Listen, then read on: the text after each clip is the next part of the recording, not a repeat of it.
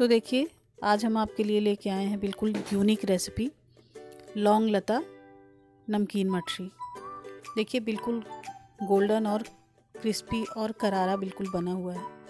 और कितना अच्छा लग रहा है। लौंग लता बनाने के लिए 200 ग्राम मैदा लिया है और 50 ग्राम देसी घी गरम करके डाल दिया है इसमें मैंने। और छोटी चम्मच से आधी चम्मच अजवाइन क्रश करके डाल दिया है। और स्वाद के अनुसार नमक ले लेंगे। और इसको अच्छे से मिला लेंगे। और देखिए ये बनने लगा है। अब इसको गुनगुने पानी से हम इसको गूंद लेंगे। और इसको सॉफ्ट डो बिल्कुल नहीं बनाना है। टाइट डो बनाना है। क्योंकि अगर खस्ता चीज़ें कुछ भी बनाना है तो उसके लिए सॉफ्ट डो नहीं बनाना चाहिए। नहीं तो फिर वो ज़्यादा क्रिस्पी नहीं हो पाता। है तो ये डो हमारा रेडी हो गया है।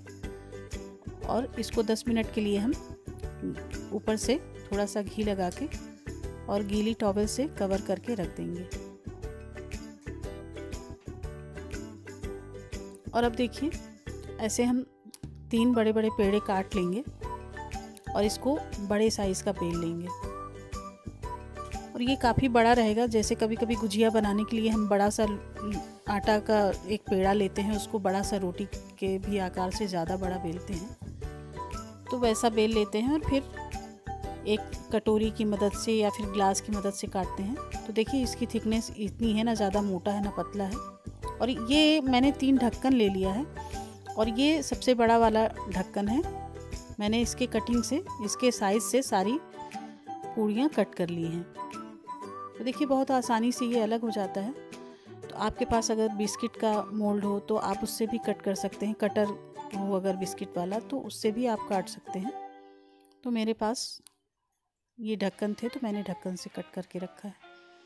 और तीन साइज़ के ढक्कन मैंने लिए हैं तो सबसे बड़ा साइज़ ये है तो अब दूसरा वाला हम बना लेते हैं। और इसी तरह जैसे पहला वाला लोई लेके और हमने इसको बेल के बड़ा सा एक रोटी का आकार दिया। अब इससे देखिए, इससे थोड़ा छोटा साइज़ का ढक्कन है, मैं उससे ये पूरा कट कर लेती हूँ। जितनी पापड़ी मैंने उससे बनाई थी, उतनी ही पापड़ी मैं इससे भी बनाऊँगी। तो ये देखिए, बहुत आसानी से निकल गया है और बहुत जल्दी बन जाता है और बहुत ही देखने में सुंदर होता है। और अब ये देखिए, तीसरा साइज़ भी मैंने बेल लिया है लेके। और ये दो साइज़ हो चुका है, अब ये तीसरा साइज़ और तीसरा मैंने पेप्सी की बॉटल की ढक्कन ली है और बहुत जल्दी जल्दी कट जाता है, देखिए। ये तीसरा भी तैयार हो गया है। तो गाइस दीपावली आ रही है तो तरह तरह की मच्छियाँ बन रही हैं। तो मैंने एक चम्मच मैदा लिया है थोड़ा सा इसमें पानी डाल के मैंने एक घोल तैयार किया है, जो मैं इसको फिक्स करने के लिए रखती हूँ। अब देखिए, तीनों साइज़ कट गए हैं और थोड़ा सा मैंने लौंग ले लिया है। तो पहले मैं बड़ा साइज़ लूँगी और इसमें थोड़ा सा मैदे का घोल लगा लूँगी और इसके ऊपर ये रख लूँगी। इससे चिपक जाता है और फिर तेल में अलग नहीं होता ये। अब ये तीसरा साइज़ ले लेंगे। तो इसी आकार में आप चार ढक्कन या चार कटर लेके या पाँच साइज़ जो भी लेके कई लेयर आप इस पर बना सकते हैं। अब इसमें लॉन्ग फिक्स कर देंगे, जिससे ये चारों आपस में चिपक जाए। और बस चाकू से इसको घुमा घुमा के कटिंग कर लेंगे।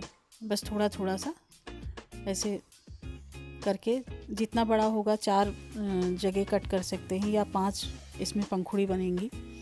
तो बस ये पूरा तैयार हो गया, देखिए।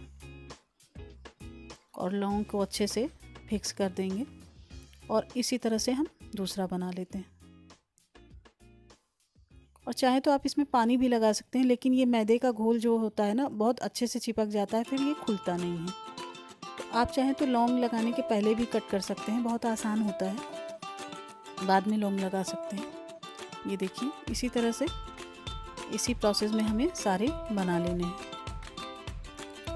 तो गाइज़ मछली तो कई तरह की बनती हैं, कोई किसी तरह से बनाता है, कोई किसी तरह से।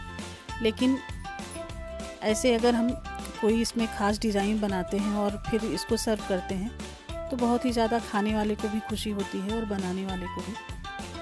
तो अब हम ऐसे ही सारी बना लेते हैं। और ये सारी बन के तैयार है हमारी लौंग लता नमकीन मछली अब इसको हम फ्राई कर लेते हैं।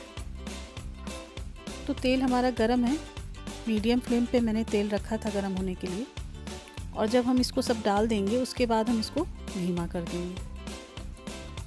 क्योंकि बहुत ज़्यादा हाई फ्लेम पे अगर फ्राई करेंगे तो इसमें तीन लेयर हैं, ये जलने का भी डर रहता है। और ऊपर से जलेगा और नीचे से अंदर से पूरा कच्चा रहेगा।